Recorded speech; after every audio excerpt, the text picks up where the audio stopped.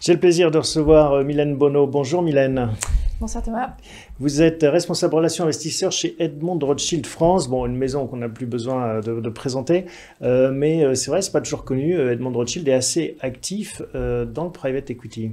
Oui, et dans les actifs non cotés plus généralement, en fait, on est un acteur qui investit sur trois segments de marché. On a une brique en immobilier non coté, on a une brique en dette d'infrastructure et on a une brique en private equity, au sens où l'on euh, globalement, c'est-à-dire avec une prise de participation dans des sociétés qui sont non cotées. C'est une classe d'actifs, hein, le, private equity, euh, qui euh, intéresse de plus en plus les investisseurs. pourquoi est-ce que le private equity est à la mode? Alors, ça intéresse euh, les investisseurs institutionnels depuis très longtemps. Ce qui est, euh, un peu plus à la mode euh, actuellement, c'est l'intérêt que les particuliers portent à cette classe d'actifs. Il y a eu une première impulsion qui a été donnée par le cadre réglementaire avec la loi Pacte, qui permet aux particuliers d'investir plus facilement sur cette classe d'actifs. Il y a différentes sociétés de gestion dont on fait partie qui font des efforts pour utiliser euh, ce changement réglementaire pour donner accès plus facilement au private equity. Et puis bien sûr, vous avez les épargnants qui répondent présents parce qu'ils ont bien compris leur intérêt euh, dans l'histoire. Euh, quand on regarde sur des périodes de 10 ans, le private equity, c'est la classe d'actifs qui a donné le meilleur rendement par rapport à d'autres classes d'actifs, par rapport à la bourse, par rapport à l'immobilier, par rapport à l'ensemble des solutions qui sont, qui sont disponibles. Donc c'est aussi à ce moment-là où il y a un intérêt grandissant. La contrepartie, c'est que bon, c'est des investissements moins liquides par rapport hum. à la bourse. On ne peut pas rentrer et sortir à, tout moment. C'est vrai. Euh, c'est quoi la, durée de détention euh, optimale euh, selon vous? Alors, vous avez une détention. Il y, a, plusieurs façons. Il y a plusieurs formats qui existent. Maintenant, si on regarde ce que les institutionnels font, parce que quand on parle de rendement sur les dix dernières années, on compare par rapport à des véhicules que les institutionnels ont choisis pour leurs fonds propres, donc des compagnies d'assurance, des caisses de retraite pour leurs fonds propres. En fait, sont des fonds qui ont une durée de vie statutaire autour de 10 ans, avec deux étapes. Une étape par appel de fonds, donc euh, l'équipe, on va laisser à peu près 5 ans à l'équipe pour qu'elle investisse dans des participations, dans des sociétés qu'elle aura étudiées, qu'elle aura choisies et qu'elle va accompagner pour améliorer euh, leur efficience opérationnelle. Et puis 5 ans pour céder ces participations et pour rendre aux investisseurs euh, le, fruit de, le fruit de leur engagement. Alors, euh, on, a intitulé cette partie les stratégies 2022. Mhm. c'est vrai que à l'intérieur de cette poche, de l'investissement dans le non côté, on peut orienter et mener sa barque de différentes façons. Tout à fait. Vous, chez Edmond Rothschild, quelles sont les, les thèses d'investissement que vous privilégiez? Alors, il y, en a, y en a plusieurs. Euh, si on regarde un peu les, véhicules qui vont, être, euh, qui vont être en cours de levée euh, cette année, en fait, on a choisi d'ouvrir notre gamme avec des véhicules qui ont une approche assez généraliste, en fait, des sujets. Parce que quand vous êtes un particulier et que vous vous lancez euh, sur euh, du non-côté, bah, peut-être que vous n'avez pas forcément envie d'aller directement sur euh, le, marché, le marché de niche. Et pour constituer une allocation qui donne du sens, il faut garder une certaine approche généraliste pour avoir un fonds un peu cœur de portefeuille, mhm. si on paraphrase le, les OPCVM.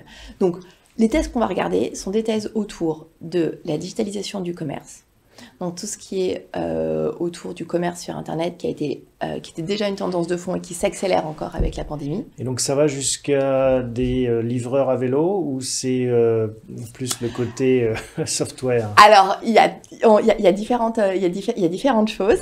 nous on a, on a vraiment, on travaille sur tous les maillons de, de, la chaîne. Ça peut être des marketplaces, ça peut être des modules de facturation.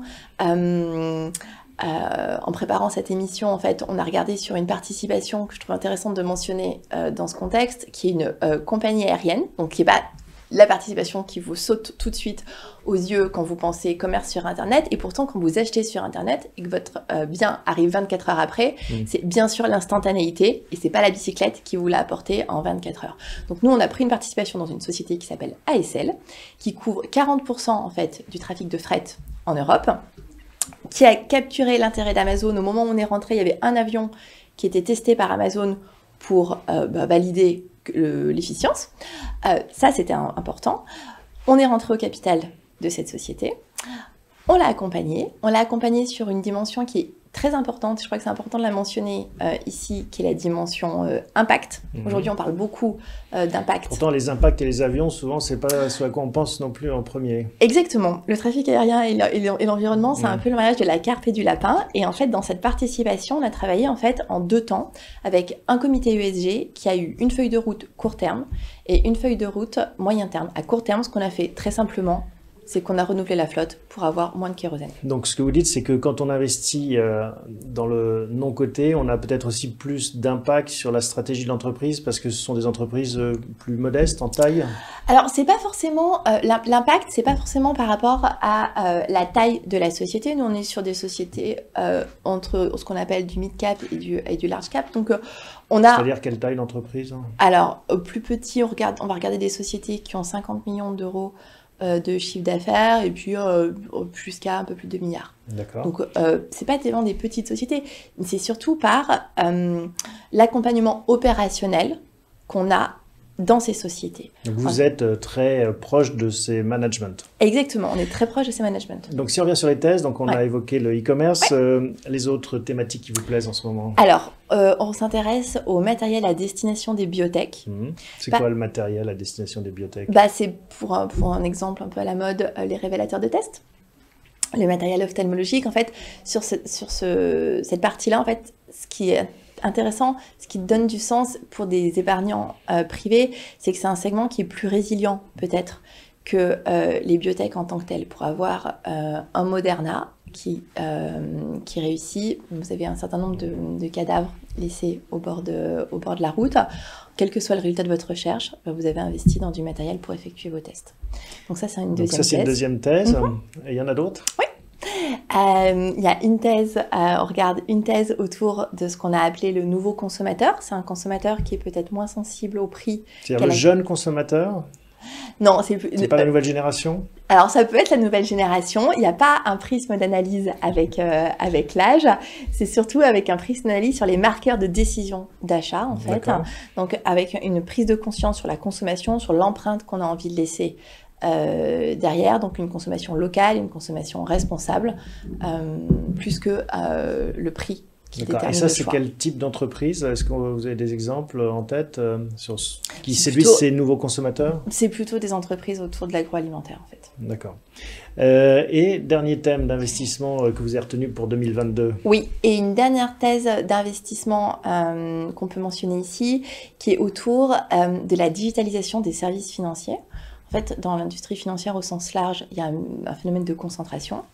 Il y a une pression sur les, euh, sur les marges. Et en fait, une réponse euh, intelligente à apporter, c'est de digitaliser un certain nombre de process pour avoir des économies d'échelle et pour améliorer le résultat global des sociétés. D'un point de vue géographique, on, on précise que vous êtes des deux côtés de l'Atlantique, hein Ouais. États-Unis, Europe. hein. Exactement. Et là, qu'est-ce que vous observez sur le marché? Est-ce qu'il y a des grosses différences entre les deux marchés? Euh, les deux marchés, en fait, nous, ce qui nous intéresse sur ces deux marchés, c'est que ce sont deux marchés qui sont les plus dynamiques sur le segment euh, qui nous intéresse. Donc, c'est le, marché du euh, mid-cap, small et mid-cap. C'est là où il y a le plus de création d'entreprises. C'est là où aussi on a les meilleurs, les meilleurs taux de rendement. La différence, nous, en, en nous positionnant d'un côté ou de l'autre de l'Atlantique, c'est qu'en France et en Europe, plus globalement, c'est là où on a nos équipes. Donc, on a plutôt des euh, prises de participation euh, majoritaires. Et euh, en Amérique du Nord, on a plutôt un réseau d'affaires, donc on a plutôt des prises de participation minoritaires, avec évidemment Avec des passerelles. Et puis surtout avec des passerelles qui se, qui se créent aussi de part et d'autre. Merci beaucoup Mylène de nous avoir présenté bah, ces stratégies euh, d'investissement dans le private equity, hein, dans le marché du non-coté euh, chez Edmond de Rothschild. À bientôt. Merci, à bientôt, au revoir. Et nous, on s'intéresse tout de suite pour finir à une dernière séquence consacrée à l'investissement immobilier euh, avec une euh, société de gestion qui va nous présenter sa stratégie.